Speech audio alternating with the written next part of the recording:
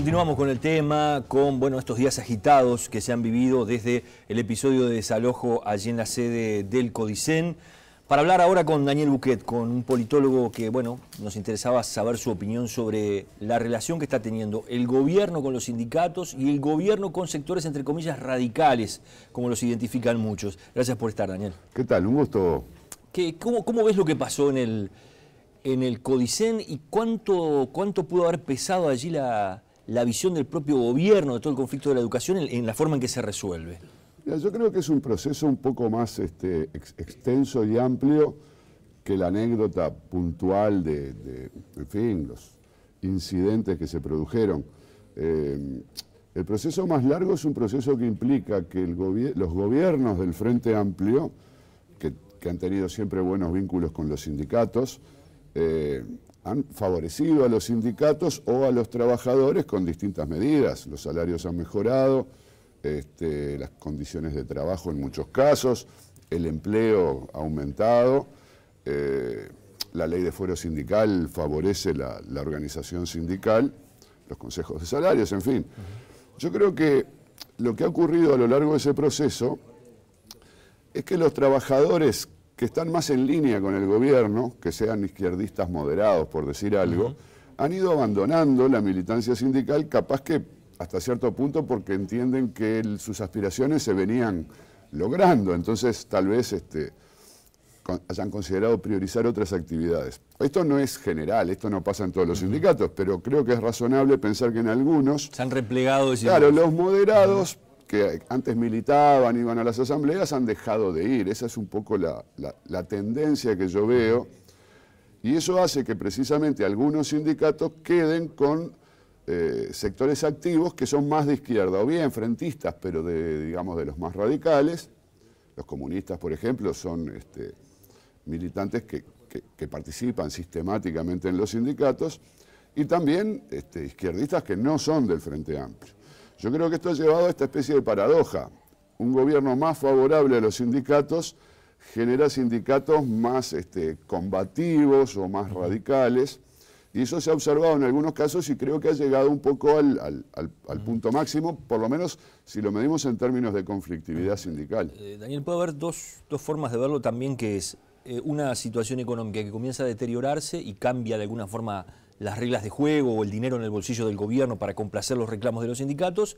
El otro es que con el cambio de gobierno Vázquez tiene otra cabeza y otra forma de relacionarse también con los propios sindicatos, ¿verdad? Que no la tenía el, gobierno de Mujica. ¿Cómo, ¿Cómo, ves esos dos elementos?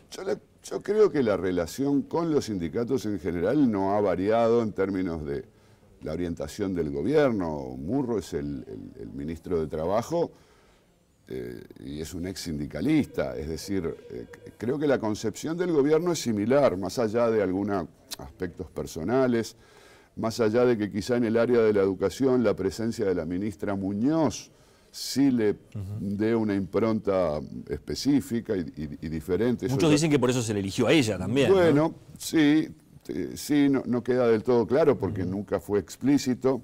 Pero en todo caso, si la idea era que la ministra Muñoz iba a tener la capacidad de, digamos, disciplinar a los sindicatos, hoy por hoy no, parece haberlo logrado plenamente, sino que al contrario se ha generado como una cierta rispidez que yo creo que justamente responde a este fenómeno de largo, largo o mediano plazo, más que largo, y efectivamente a la coyuntura.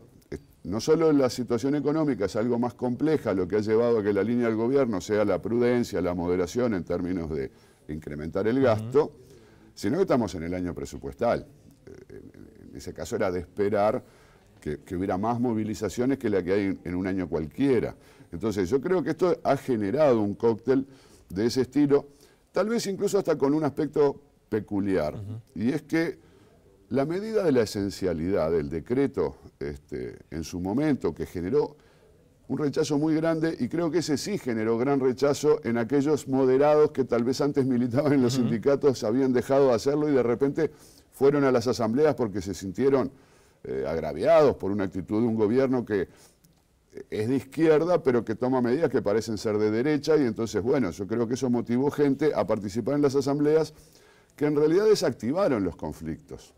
Y yo creo que ahí aparece este último fenómeno, es decir, como los gremios masivamente con asambleas muy participativas, pasaron a adoptar medidas más moderadas, ahí saltaron algunos grupos pequeños, eh, eh, claramente, ¿no? Eh, mucho más este, limitados, un grupo de estudiantes de secundaria, la, organización Plenaria Memoria y Justicia, el sindicato del SWAT, que son este, claramente los que participaron, más allá de que el ADES este, tuvo actitud de apoyo, etcétera, son los que participaron en la ocupación y los incidentes previos que parece también ser una reacción de sectores radicales a la actitud de moderación que post-esencialidad se había, eh, había eh, privado en, la actitud de los gremios. ¿Cuánto puede desgastar al gobierno esto que está pasando? Tú decías, bueno, estamos en un año presupuestal, de repente cuando pase todo el tema presupuesto en el Parlamento se calmarán las aguas, se entrarán a discutir otras cosas. Sí, yo, creo que el gobierno ha sido un poco errático en las medidas y, eso naturalmente le, está presentando un desgaste. Hace unos días se divulgó una encuesta de popularidad de Vázquez donde se observaba que había un, deterioro. En particular, parte de ese deterioro sería de votantes del frente que ya no están aprobando al gobierno, supongo yo que en buena medida por gente que es de izquierda y que está viendo medidas que no ve consistentes con, esas actitudes de izquierda. Eh, yo creo que el panorama es un panorama que efectivamente va a generar un desgaste del gobierno. La, discusión presupuestal en, un contexto restrictivo genera insatisfacción. La gente no se va en el bolsillo con lo que esperaba obtener y eso genera insatisfacción y ese es un mensaje más o menos generalizado, no solo de los profesores, han surgido otros, otros agrupamientos, hasta los cineastas, quiero decir... La propia Suprema Corte de Justicia eh, se quejó los otros días este, al Parlamento... Claro, ahora, esto es coyuntural, ¿no? Es decir, eh, pienso que es un desgaste que se debe a los, a, los conflictos que están eh, derivando de la ley presupuestal, de las negociaciones salariales, eh, y de algunas actitudes del gobierno que hay gente que ve como, como inconsistentes con la, con la actitud, incluso hasta con las propias promesas, porque en el tema de la enseñanza está este problema de la promesa del 6% del, del PIB para la educación y un incremento muy moderado del gasto que, tal como está previsto, no llega ni al 5%. ¿no? Entonces, este, bueno, yo creo, yo creo que esto es natural, pero que en realidad no necesariamente tiene este, consecuencias de mediano plazo. Esto se puede agotar en lo que queda del año con la aprobación de la ley del presupuesto y en todo caso la popularidad del gobierno ya pasará a depender de otros factores, sobre todo de que haga bien algunas cosas que la gente considera preocupantes, que tienen que ver sí con la enseñanza, pero ya no con los salarios de los docentes, sino con la eficiencia del sistema, con su buen funcionamiento, etcétera o con temas como la seguridad pública, por ejemplo. Eh, Daniel, para ir cerrando, ¿cómo ves la oposición? La oposición en algún momento parece haber estado este, alejada en sí de todo este ruido y haber hecho críticas puntuales y demás, pero sin comprometerse demasiado en apoyar, por ejemplo, a Vázquez cuando el decreto de esencialidad, este, o tomando otra posición de repente en favor de quienes reclamaban mejora de presupuesto. Sí, yo creo que la oposición en este contexto tiene muy poco espacio Primero, bueno, porque el Frente Amplio tiene mayoría, el presupuesto se aprueba por mayoría y por lo tanto no necesita de la oposición, no hay negociación, más allá de que en el Parlamento obviamente las comisiones este, discuten con, presencia de todos los partidos y, se llegan a acuerdos en, muchos casos, los temas centrales de discusión no, no son materia de negociación con la oposición. Y la oposición tal vez también esté un poco incómoda porque justamente si lo que está haciendo el gobierno es tomar medidas que se pueden pensar como de derecha, digamos, estoy simplificando mucho, pero a ver, si es restricción del gasto eh, y si es una actitud este, represiva o de, o, de, poca tolerancia con las movilizaciones eh, presupuestales, bueno, en todo caso ese tipo de actitudes se identifican más con la centroderecha, con con, los partidos tradicionales. Entonces, Más vale no salir a apoyarlo explícitamente tampoco. Claro, y la, oposición ¿qué va a hacer? Va, a aplaudir al gobierno porque, está, porque va a decir que está haciendo lo que nosotros hubiéramos hecho, mostrando su autoridad este, y mostrándose prudente en materia eh, financiera, fiscal. Bueno, no, no digamos, la, la, oposición más allá de que lo pueda decir o que pueda marcar matices, no, no, no, no tiene mucho sentido que se que su discurso consista en apoyar al gobierno y tampoco tiene demasiado sentido que su discurso consista en apoyar a los sindicatos. Tirame una línea al final de, cómo ves la, sucesión en el poder dentro del Frente Amplio, ¿no? o la definición de una candidatura. Estamos lejos, recién es el primer año de este gobierno, pero no parece ser un tema menor este, y qué urgencias puede tener también el Frente Amplio de empezar a delinear una estrategia.